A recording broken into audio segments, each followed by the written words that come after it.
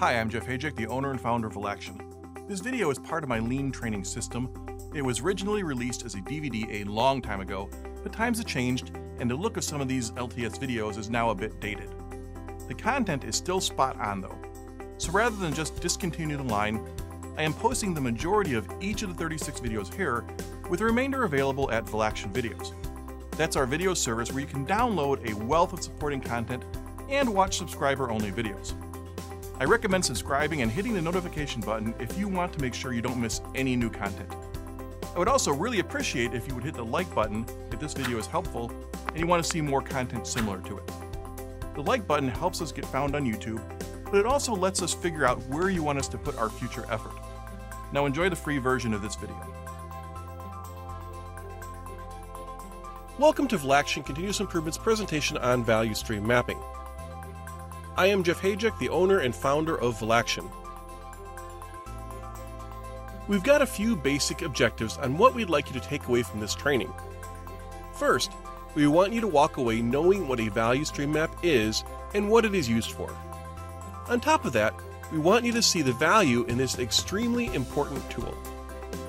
Second, we want to teach you the basics about creating a current state value stream map. You won't get good at value stream mapping until you've done it a few times. Our goal of this video is to get you comfortable enough to go out into your production areas and start putting pencil to paper. Now, it would be rather difficult to create a value stream map if you didn't even know what a value stream is. So let's start out by addressing that question. In a nutshell, a value stream is the series of activities that you have to do to provide a product or service to a customer. There are a few things to note about this definition. While value streams are traditionally thought of as shop floor tools, they also apply to administrative processes. It can be tricky to apply value stream maps to office environments, but the payoff is well worth the effort. It is just important to know that the tool works in services as well as with physical processes. I'd also like to point out that some definitions of value stream include the information flow as part of the value. I tend to believe that the information, unless it is actually the output of the process, is not part of the value. Rather, it just enables the value. For most businesses that have not yet started aggressively applying continuous improvement to its processes, the flow of value is rather impeded. You can think of it as a meandering stream. There are lots of pools and backwaters and rocks and sticks and other things blocking the flow, making it far less efficient than it could be. A value stream map is a tool that lets you figure out where all those obstacles are. The obvious goal is to remove those impediments and continuously streamline the flow. I just touched on an important concept, but I wanted to address it here again. As most people with a cursory understanding of VSMs know, they are very useful for tracking the value stream of a physical product. But they are also great when the product is information. Think of a loan process or an ordering process. There are a series of linked activities that move the information through time and space to satisfy a customer. Be careful about whether or not the activities are truly providing value, though, or if they are just a supporting process. For example, the materials management process is not a value stream, even though it contains a bunch of connected processes. One thing to keep in mind, though, is that value stream maps only work for repetitive processes. For example, it may be difficult to create a value stream map for a job shop. The flow of products through that system are simply too variable to get the full impact of a value stream map. That's not to say that a value stream map can't be useful in a mixed model line, though. It simply means that there has to be the potential for some consistency in flow. I hope you are getting something valuable out of this video. If you want to get more out of this program, we recommend watching it on Velaction Videos. You'll be able to watch the entire video, mostly ad-free, and view subscriber-only programs. You'll also have access to a load of continuous improvement downloads. So now we talked a little bit about what a value stream is. Let's move on to what a value stream map is. A VSM is simply a snapshot view of how work flows through your system. This visual tool makes the opportunities for improvement jump out at you.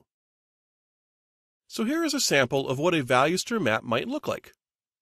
In this example, we look at Jimmy's lemonade stand. He does a pretty brisk business and now needs to streamline his process in order to keep meeting customer demand.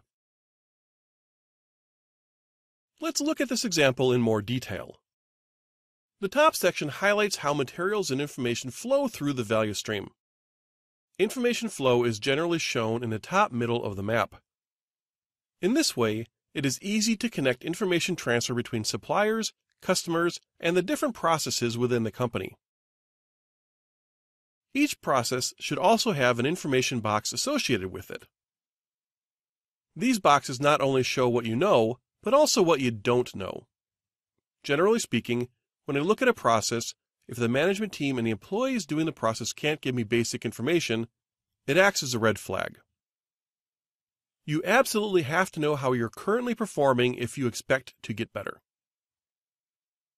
Speaking of people, I'd also like to point out that the value stream can be eye-opening to teams. Many times, people are unaware of where they fit into the big picture. This tool lets them see how their role fits into the value stream. Another big thing that this current state value stream map does is provide you with a backdrop upon which you can overlay your continuous improvement efforts. Seeing improvement opportunities visually on a VSM prevents you from taking a haphazard approach to Kaizen. Without the value stream map, it is easy to fall into the mode of a dog chasing a squirrel. It is very easy to get distracted and pulled away from what is important. This lack of coordinated effort is often called kamikaze kaizen. While these unlinked projects can provide gains, these improvements are generally local in nature. They do little to improve the flow of the entire system. I do want to make an important distinction here.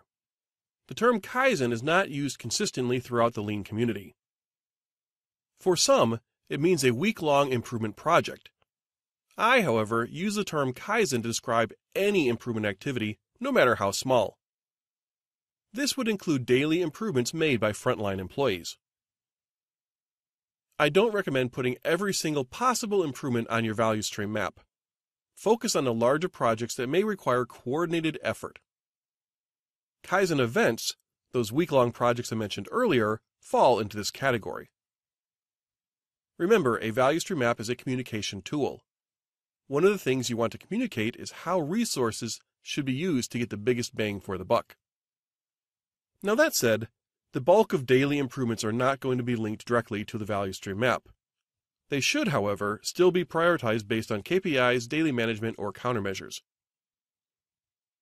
The point I'm trying to make is that you don't want to limit individual improvement effort because it can't be seen directly on a value stream map. All of those little gains as long as your team members understand the big picture, will add up. Just be sure that when you pull people away from their day to day efforts, you set them up for the biggest improvement opportunities possible. The final point of this slide is that when you put all of your improvement opportunities onto your current state value stream map, you are, in effect, creating a link between the present and the future state. This presentation will focus on creating that current state map, but I want you to view it with the end in mind. The purpose is not just to create a map. The point is to use the map to create a plan that will transform your current reality to that future vision. Unfortunately for most businesses, they are not structured to support a value stream. Think about how an order might flow through an organization. You may have an inside sales team working directly with customers to help them make their purchasing decisions. Once they decide to buy something, the customer or the inside sales team may submit the order to a group that processes the paperwork and gets the fulfillment process flowing. Finally, an accounting team may get involved to handle payments before the order ships off to the customer. Now let's think about the customers that these groups service. You may have two groups with very different needs using the same resources. The typical organization for a company is by function a sales manager oversees the inside sales team. Different managers handle each of the other functional silos. The problem here is that the focus tends to be on optimizing locally. There is often little thought given to streamlining the end-to-end customer experience. In practice, it means that the order entry manager may be able to save 15 minutes of work by passing 5 minutes of work on to the sales team. From a company standpoint, it makes sense. To the already swamped inside sales team, there will be pushback on taking on more work. So what's the alternative? Value stream managers. A personal accounts manager can optimize processes for this sort of customer. A commercial accounts manager can do the same for her business-oriented customers. If they see an opportunity to make things better, they don't have to worry about these internal barriers. They do what is best for their customer. They may still have some sort of process managers handling things like order entry, but their role is subservient to that of the value stream manager. As part of the Lean training system this video comes from, we offer a variety of Lean Lego training packages. These include our Lean Lego flow simulation, mistake proofing or Poka-yoke Lean Lego exercise, and our visual controls and 5S Lean Lego exercise. We've also got an office flow simulation for those not implementing continuous improvement on the shop floor. Click the links in the description below or click on cards that pop up on this video to learn more. We'll also add links at the end. So how do you go about identifying a value stream? Obviously, the first thing you have to do is identify the value they provide. This sounds simpler than it actually is. On the shop floor, value added work is generally easy to spot. In the office, however, it is not as cut and dried. I generally tell people that if you want the volume of the work to go up, it likely adds value. We would like the number of orders that are received to rise. We would not, however, want phone calls about order status to go up. It takes a bit of finesse to figure out where to put this sort of work into your value stream. As a rule, I prefer to see it in the info box of a value-added process. The cycle time would be rolled into the process it is related to, or it would show up as a defect. Once you've got your value stream selected, you'll need to find some product data. Now the data collection aspect of the value stream map is very iterative. You have to gather some data, move forward in the mapping process, figure out your information gaps, go back and collect more data, and then go back to the mapping process again. This may take a few cycles depending on how complicated your system is. But in the early stages, you want to do the best you can to gather up the data on your product mix. On the shop floor, this is generally easy to do because you have sales record and item numbers. For administrative processes, it can be more tricky. You have to make the distinction between value-added and non-value-added work and you often have to start collecting data as much of this work is not tracked as closely as physical products are. The reason why you want to understand this product mix is that many of your products, even though similar, follow a different path and thus have a different value stream. The tool we use to distinguish value streams is called a product quantity process routing table. This tool helps you group similar products into a family that shares the same value stream. Let's take a look at what this PQPR table is. Start out by listing all of your products into a single column. The term work unit here can be applied to either a product or a service that you deliver to the customer. You then enter the average demand and calculate out the percent of the total demand. Note that this is by quantity. Sometimes items with a lower demand can chew up a lot of resources. We are not worried about that at this point. Right now, you are looking solely at the numbers produced. All of the processes that these same products go through are then listed on the top line. Note that not all products will go through all processes. For each product, go through and write the sequence of processes. Some products will double back and may even go through the same processes twice. For example, a part may be machined, then something else welded onto it, and then machined again. When you've completed adding the sequences, group the products with similar routings into families. In this case, it becomes apparent that two distinct products are manufactured in a similar way. Combining them into product families helps you produce more efficiently. proper preparation can make or break your value stream mapping efforts. I really want to stress this point. If you don't have all your ducks in a row before you start mapping out a value stream, you dramatically increase the risk of things going bad. In the best case, a minor problem will simply cost you a little bit of time. In the worst case, you can seriously damage and erode trust. Make sure you are properly prepared before you hit the floor. So how do you prepare? Well, the first step is to understand all the things you need to do. As I mentioned, preparation is extremely important. If you are not well prepared for your value stream mapping effort, it will likely fail. There is also some general higher level preparation that I would like to point out now. Don't take on value stream mapping until you can do something about what you learn. What do I mean by this? Well, there is a lot of effort that goes into creating a value stream map. It uncovers many problems and opportunities in your organization. One of the worst things you can do as a manager is highlight problems that you do nothing about. For this reason, I don't recommend jumping right into value stream mapping at the beginning of a lean journey. Instead, spend some time developing the skills that you will need to fix the problems that you highlight. If you do that, your value stream map will be seen as a useful tool. If you simply do the mapping exercise and nothing changes, it will be viewed as a waste of time and will add to frustration and dissatisfaction to the workforce. But once you're prepared and have the tools to do something about your value stream map, the next step is to actually create your current state VSM. Once that is complete, you use the current state as a launching point for your future state value stream map. And this is where the ability to do something about the problems you find manifests. Once you have your future state value stream map, you have to identify the specific tasks you need to take to move from the current state to the future state. Now, to be clear, I am not saying you have to know everything before you start value stream mapping. I encourage you to continuously learn as you go.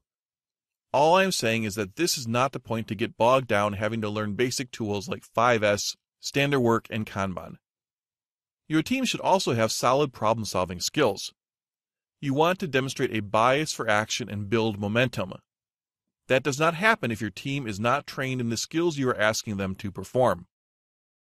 And, of course, once you make a plan, you have to execute it. I would like you to keep one thing in mind as you begin moving through this cycle. Remember that it is a cycle. You only have so much time available. Find the sweet spot where you can make an aggressive plan without overtaxing your resources. If your plans get a reputation for being wishful thinking rather than actually being accomplished, value stream mapping will quickly lose credibility. You don't have to do everything at once. Pick the opportunities with the biggest bang for the buck and focus on them this time around. Eventually, in subsequent cycles, you will work your way through all of the opportunities you have identified. Let's get a little bit more specific about the timeline now. The planning phase can take about a month to complete. The two things with the longest lead times are scheduling your senior leaders who will be involved in this project and data collection. If you don't have the right information available, you will need to set up systems to collect data prior to your value stream mapping effort. The current state value stream map exercise generally takes about a day, give or take a few hours. The exact duration will depend upon the complexity and size of your value stream. Just don't let it turn into an extended event. If it takes much longer than a day, you are probably looking at things in too much detail. That day should include the full team for the entire mapping exercise.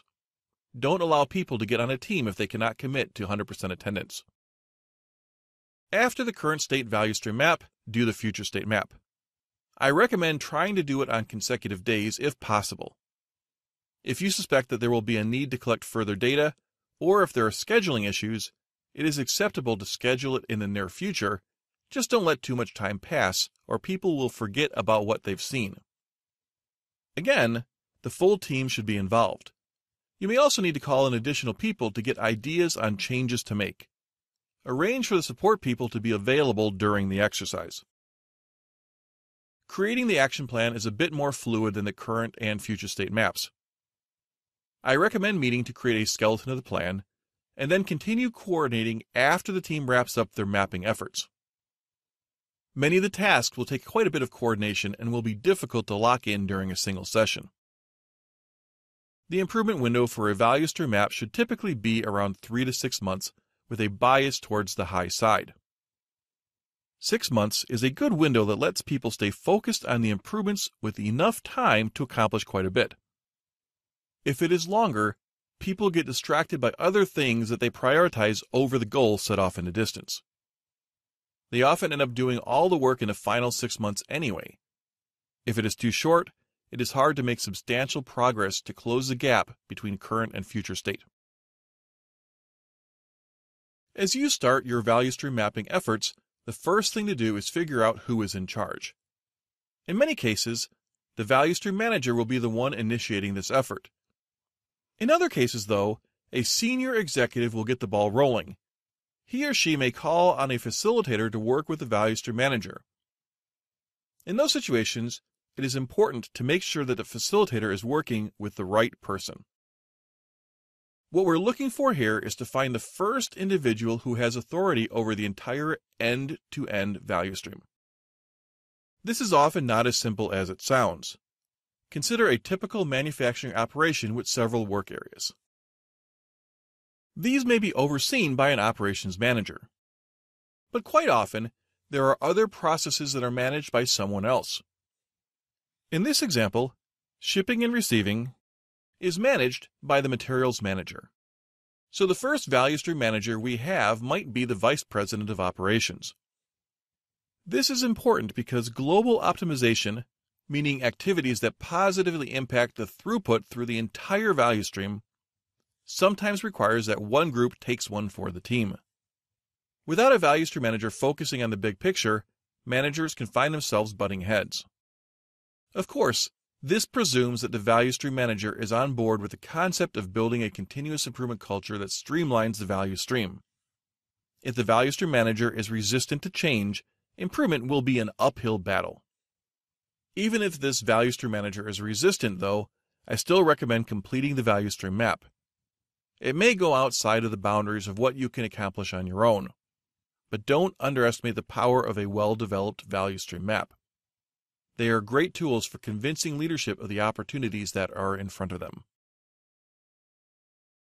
One of the key things to do before attempting to make a value stream map, and certainly before making any changes, is to communicate what is happening to the team. You want to start off by making sure people know what you are doing. And it's also a good idea to show examples of what a value stream map can help a team accomplish. I recommend that you look into taking benchmarking tours to see other organizations that are doing this well.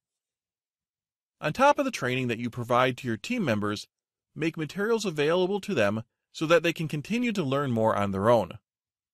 The more they understand about value stream maps, the less resistant they will be. And finally, make sure that you communicate specifically why this is going on now. If there is a crisis, be frank about it. If there is an opportunity presenting itself, let the team know. If this is just because a new leader has done it before and has seen the power of value stream maps, tell the team. The less in the dark they are at the onset of change, the more trusting they will be down the road. It's also important to be very clear about what is going to happen and what they are going to see. This means telling them when to expect activity and who they should expect to see. It is also a good idea to be clear that there will be a lot of questions and prepare them for this. The next point is a rather important one. One of the big changes people see when you start focusing on becoming a continuous improvement culture is that there is a lot more measurement. If people are not used to seeing individuals timing their processes or walking around taking notes on clipboards, it can be very unnerving. Those sorts of things, at most companies, are linked to problems and disciplinary actions. Make it clear that this is simply part of the improvement process. Most people also like to know how long things will take. Having observers in their work area will be uncomfortable for most employees. It is helpful for them to have an understanding of how long this discomfort will last. The last thing to communicate is what happens after the value stream map is completed. Make sure that they understand the concept of value stream management. This is especially true if there will be some changes in leadership structure. Tell people what will happen with the information that they provide. One of the big knocks that continuous improvement efforts get is that data collection falls into a black hole. They see initiatives start and never see the fruits of their labor. Related to this, make sure that people have a good idea on who to go to if they think of anything else that will help the value stream mapping team. What tends to happen is that people think about the answers they gave and ideas pop into their heads later on. Some people simply disregard these ideas, thinking that they don't have the power to act. Others, though, will see the potential of the value stream map and this effort you are undertaking and will want to provide feedback. Make sure they know how to do that. And finally, give people a timeline. Don't make them sweat out the changes. Get more out of our Lean Training System videos with our Continuous Improvement Companion. It's closing in on a thousand pages of great content. It is currently available as a download with a subscription to Velaction Videos and as a license through our store. You can also get a free version of it by signing up for our newsletter. Click the links in the description below or click on the cards that pop up on this video to learn more. We'll also add links at the end. There is an ongoing debate about the best format to use for a value stream map. I'm not talking about the form or the layout of the map. There's not a lot of disagreement there. The question is about the medium. Should value stream maps be done with a pencil and paper or on a computer? When value stream maps first spiked in popularity around 20 years ago, technology and software tended to be a barrier to mapping.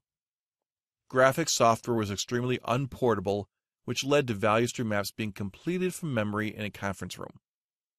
Software tools were ungainly, which meant that teams, which often include highly paid individuals, sat staring at a person trying to manipulate a graphic on an uncooperative piece of software. So what I recommend, especially in the early stages of your company's value stream mapping learning curve, is that you start out by using pencil and paper on the shop floor. Then you can transfer the information to a computer later. I know that this falls into the waste of overprocessing, but it is better than the alternative. The goal of value stream mapping is to get people on the shop floor so they can see the entire process. The act of drawing it out reinforces the lessons that first-hand observation provides. Why would you need to digitize the map? For one thing, it is easy to share once it is computerized. But this can also be accomplished by taking a picture of a hand-drawn map. There is a benefit to using graphic software, though. Modern programs make VSMs much easier to edit than they were in the past. As the data changes or as you make improvements, you can quickly update the information. While some people like using sophisticated tools for this, I preach simple is better. A PowerPoint slide is easy for most people with a basic knowledge of the program to edit. Don't overcomplicate things. In the spirit of continuous improvement, though, if you come up with a better system for using a technical means of documenting the value stream map, even on the shop floor, by all means test it out. Just make sure that you weigh the costs and don't detract from the learning that comes from the mapping process. Another way you need to prepare for your value stream mapping exercise is to have all the equipment you need available before you start. The first thing you need is a pencil and paper. I tend to recommend larger pieces of paper, legal size or 11 by 17. This gives you much more space to work with. If you're doing a very small value stream map, this may not be necessary. It is also useful to have a clipboard available to you so you can write wherever you observe a process. The reason you are writing in pencil is so you can change things as you learn more. Obviously, this also requires an eraser. Bring a stopwatch to the shop floor as well. While you probably will not be taking detailed cycle times during your value stream mapping exercise, you should be able to get an accurate time if one is not available. I tend not to trust estimates or values that were not timed within the last few months. If you are working in a company with a fairly well-developed continuous improvement culture, you may have accurate cycle times available. Feel free to use those if you trust them. Just be careful about using secondhand information. You will be basing future improvements on this data. If it is inaccurate, you will not get good results. Be sure to bring a calculator as well. This is helpful for determining defect rates, takt time, and the like. Finally, bring a video camera. I don't recommend taking videos of people without their approval. Make sure you tell them what the video is for and how you will use it. Videos are useful to have when you start discussing improvement opportunities. The nice thing about these last three items is that nowadays, most people carry all three of them around in their pocket. Smartphones are very convenient to have while doing value stream mapping.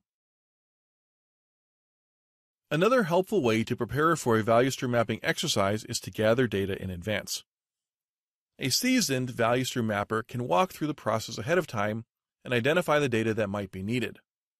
Gathering this data before a team meets can significantly improve the current state value stream map.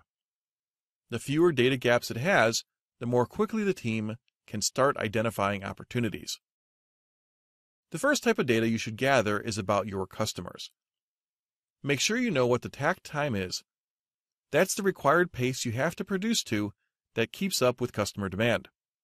It is calculated by dividing the time available by the demand during that period. Also make note of any special requirements that the customers might have. If you have any specific product data, such as defect rates, available, make sure that you record that. Process data is also helpful to have. As I mentioned, you can do quick timings of the process as you walk through it. If, however, cycle times are excessively long, you might want to gather the data in advance.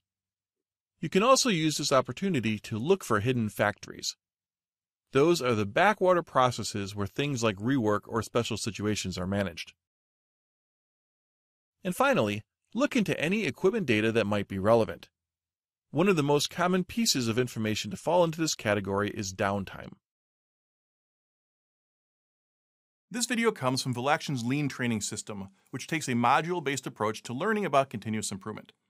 Modules include a PowerPoint presentation and student guides for every video, plus there are many exercises and quizzes as well. There's also a whole host of supporting content in the form of terms in our Continuous Improvement Companion and downloadable articles. Our modules are currently available in our store and as downloads at Velaction Videos. Click the links in the description below or click on the cards that pop up on this video to learn more. We'll also add links at the end. Value stream mapping is a team event. It is possible to do it alone, but having multiple sets of eyes on value stream makes the map that much better. There is also a large benefit to the discussion that comes among team members. Things like deciding how to depict special situations or any special information that might be needed are often uncovered through discussion. It is even more important to have a team as you start looking for opportunities in developing your future state map. So, who should be on the team? The value stream manager should certainly be on the team. He or she often has an eye-opening experience during this process. It is surprising how often a leader does not understand the nuances of his or her operation. You also want to have a team of stakeholders. This means that people that are vested in each of the processes should be included. The team size should be kept manageable even if there is a large number of work areas that will be mapped. When a value stream mapping team has too many people on it, they become intimidating to the frontline operators. It also gets harder to manage the different ideas. You can also prepare a support team in advance. These would generally be people who are available to answer questions but may not be necessary for the whole process. For example, someone from the IT department or from facilities may be asked to remain available and on call. This will keep the team from losing time tracking down people who have information that they might need. It can also be helpful to have a facilitator during the mapping process, especially if the team does not have a lot of experience. The facilitator can help smooth out conflicts and prevent potential problems from occurring. The facilitator can also act as a trainer and mentor to the team as they become more familiar with this tool. Once a team gets on the shop floor, there are several tasks that they will have to accomplish. These should be assigned to the team members prior to starting the map. This is another case where the facilitator can benefit a team. they will be able to explain the ins and outs of each of these tasks to avoid mistakes. The timer will record cycle times or other activities that may be part of the value stream. For example, they may want to know how long materials remain on a conveyor system or how long glue takes to dry. By far, though, measuring cycle time is the most common role of the timer. The data collector will gather up other pieces of information that are relevant to the value stream map. This might include recording the number of operators or getting information on machine uptimes, yield, batch quantity, etc. While everybody should take notes, the team should have a formally designated note taker.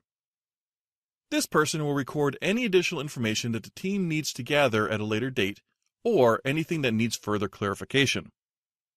This person keeps the official team record. One person should be designated to count inventory. It is important to get an accurate understanding of how much work in process is in the system. The key here is to record the backbone items. You don't have to go through and count each and every widget that will be attached to the main unit. Designate a single person to be the interviewer. It can be intimidating to have a barrage of questions pepper a frontline employee. When it happens, the individual tends to get confused or shuts down. Assigning a single person to be the voice of the team makes the interviewee more comfortable. The final task is to draw out the map. I like to have each individual make a rough draft of the value stream. You'll find that when the team gets back to the conference room to go over what they've learned, there will invariably be things that are missed. The more people that are writing things down, the better the likelihood is that somebody has the information that you need. Let's talk now about team size. The ideal team is about 5 to 7 people. This gives you a good opportunity to get the right mix of background and experience while not overloading the individuals you will be interviewing as you walk the value stream. Try not to get over 10 people though. Thanks for watching this extended free version of our Lean Training System module video. If you want to watch the whole video, check it out at Velaction Videos. If you want to make sure you don't miss the next LTS video that we post, please be sure to subscribe down below. We also always appreciate likes as it helps us get viewed more and makes us keep adding additional content. Thanks for watching, and best wishes on your continuous improvement journey.